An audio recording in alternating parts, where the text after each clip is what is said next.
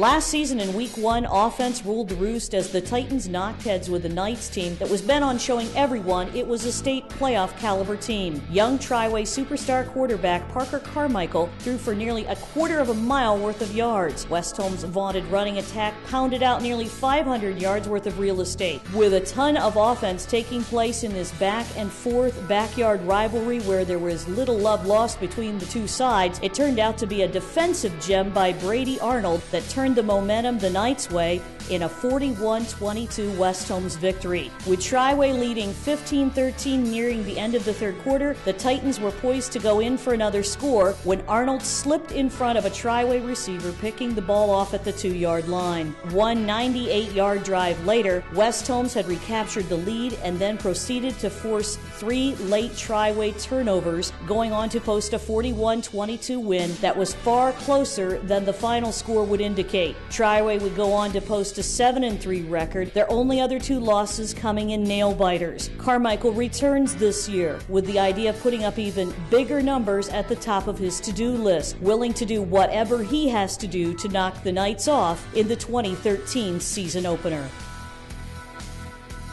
It wasn't just another loss last season for the Black Bears of Warsaw, who traveled to West Holmes in week two with hopes of giving the Knights a game. It was a complete humiliation. West Holmes ran roughshod over, around, and through the overmatched Black Bears to a tune of a 55 12 victory, a game in which West Holmes seemingly could have named their score. If head coach Kevin Maltrich wanted to create a highlight film in the Knights' first effort out in front of the home crowd, he did a good job. Whether it was Gabe Snyder hitting wideout Brady Arnold on stride with a picture perfect pass, Lane Perrone, Grant Hay, or Garrett Mackey sliding off tackle for huge chunks of yardage, or the defense standing up to the Bears at the line of scrimmage. This blowout served as the perfect precursor to what would become a magical season for West Holmes. The Black Bears would go on to post a 5 and 5 record last season, turning things around, including a convincing 29 7 victory over Coshocton in their Week 10 finale. It won't be a stretch to think the Black Bears will be out to avenge the Knights on their home turf in Week 2 this season.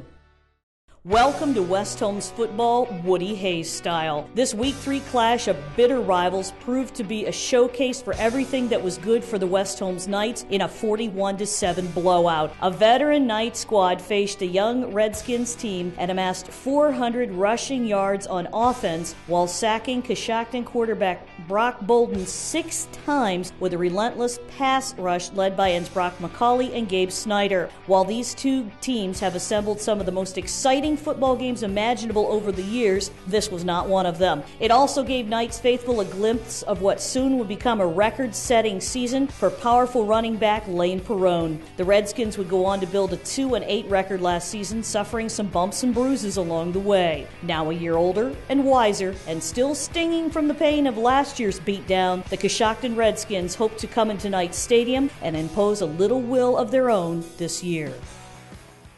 The Madison Rams had huge problems putting together a sustained drive in last year's early season contest with West Holmes, never mounting a sustained scoring drive. On the other hand, they didn't have to, reeling off two huge scoring plays of 70 yards from scrimmage and returning a pair of kicks for scores to make this West Holmes' most thrilling game of the year. With neither team able to generate much offense at all late in the contest, it came down to the kickers in this double overtime thriller, and West Holmes sophomore Logan Gallion delivered, connecting on a 33 yard kick to forge a 31 28 lead. With Lucas Geib and Brock McCauley providing serious pressure on quarterbacks as Madison went for the kill, the Rams instead went backward and were forced to attempt a 42 yard field goal, which fell short of the mark, setting off a jubilant night celebration. West Holmes had claimed a scintillating double overtime victory by a foot, the foot of kicker Logan Gallion. That would be Madison's lone loss of the regular season as they rolled into the playoffs and topped Westlake 14 7 before bowing out to eventual state champion Toledo Central Catholic 45 7. Getting a chance to face the Knights this year in Mansfield, the Rams will look to kick it in gear and grab a cold, hard slab of revenge this time around.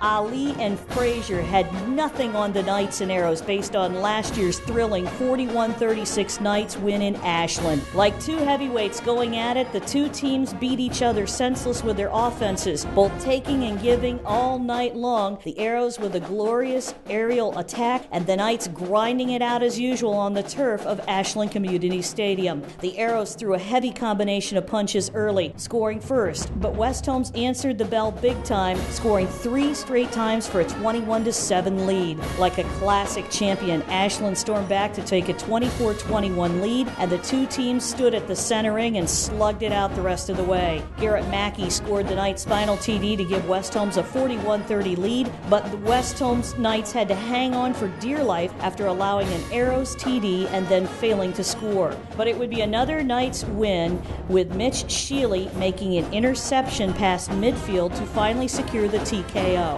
The Arrows had high hopes of grabbing a playoff spot in 2012, but they fell to 6 and 4 in week 9 with a loss to Mansfield Madison, which killed any playoff hopes they had. Now, a hungry Arrows team will be looking to square things up against the Knights in this year's week 5 contest. From the opening kick to the final horn in this contest at Red Rider Stadium, the Knights had their way with the Orrville Red Riders in a 41 0 blowout that saw West Holmes do whatever it set its mind to. Over the years, these two backyard rivals have had some tantalizingly close encounters, but this week's sixth blowout was all about the Knights flexing their muscle and proving to everyone that they were indeed a definite Division III playoff contender, even as the Knights' running game pounded away, ripping off huge chunks of yards on a regular basis. The unheralded offense continued to rise to stardom, presenting Coach Maltrich with a shutout. Orrville's proud program would suffer through a tough season in 2012, going 1 and 9, winning their opener against Northwest, then dropping their final nine contests in a year to forget. The Red Riders will be out to turn the tide at Knight Stadium this year in hopes of erasing the ugly memories of 2012's games gone awry. Will Doug DeVault's squad erase those nightmares, or will West Holmes once again impose its every desire over the Red Riders when these two Ohio Cardinal Conference rivals tee it up on week six. It's every football team's dream. A perfect 10 0 campaign when the regular season winds down and the second season begins. Last year in week 7, the Mansfield Senior Tigers leapt into Knight Stadium, gave a mighty roar, and destroyed the hopes of Knights' perfection. With a 40 29 defeat, Senior handed the Knights their lone regular season loss of 2012 after West Holmes had produced six straight wins to open the season. It didn't take long for Senior to showcase their their immense talent at the skill positions. On the first play from scrimmage, senior quarterback Jalen Reese pitched to check Washington, who drew the Knights defense in on an apparent sweep and then pulled up and proceeded to uncork a 64 yard scoring strike to Keon Johnson for a scoring strike that stunned the Knights and their faithful fans. That play set the stage for a Tigers offensive explosion, and the Knights unable to stop the athletic Tiger attack. Senior roared into Week 10 on a huge high, having wrapped up a spot in the playoffs. However, a key 34 0 loss to rival Madison sent them reeling into the next season, where they quickly were bounced in the playoffs 28 16 by Tiffin Columbian. West Holmes looks to avenge last season's lone loss as they travel to Mansfield, where many teams have tried, but few have succeeded in escaping town with a the W. Ladies and gentlemen, prepare to be mystified, bamboozled, and mesmerized as we present to you the amazing Maltrich the Magician. In front of a hostile Lexington crowd, West Holmes head coach Kevin Maltrich got out his bag of tricks, pulled out all the stops early in the game, and the result was trickery at its best. With no score in the game in the first half, on fourth and six from their own 24, punter Brock McCauley faked a punt, rambled 24 yards for a surprise first down, and before you could say hocus pocus, Lane Perrone plunged into the end zone for the lead score. Maltrich's David Copperfield mode continued in the second half when Logan Gallion's bewildering second half hooch kickoff landed in no man's land. As the Minutemen looked on stunned, the Knights recovered. The Minutemen never did. West Holmes went on to record a 21 7 win in what seemed to be a defensive gem by both teams. The loss sent the Minutemen into a free fall, going from playoff contender at 5 and 2 to a 500 team by year's end. Lexington dropped its final three games, losing to the Knights as well as Mansfield Senior and Ashland. With the Minutemen out to pull off some magic of their own this year at Knight Stadium in Week 8, Maltrich the Magician will hope to continue to befuddle the Minutemen, this time at home. West Holmes and Wooster were greeted by a cold and windy autumn air during week nine last season, and when the rains came down, it made for treacherous playing field at West Holmes Stadium. The contrasting styles of each team's offensive attack proved to be detrimental to the Generals. While the Knights ground out huge chunks of yards on the ground, Wooster's spread offense throwing attack was brutally impacted. After two early miscues, the Knights offense exploded behind Lane Perrone's record-setting performance. Perrone crushed through the Generals line for 235 yards, three touchdowns, and set the school record for points in a season with 144. Meanwhile, West swarming defense made life miserable for a Generals team that will be bent on showing the area they aren't the same team that got destroyed last year. While they ended the year on a high high note by pummeling backyard rival Orrville 34-7, Wooster entered the 2012 season 3 and 7 and hope to reverse those numbers this year. Their sights set on turning the tide against West Holmes in Week 9.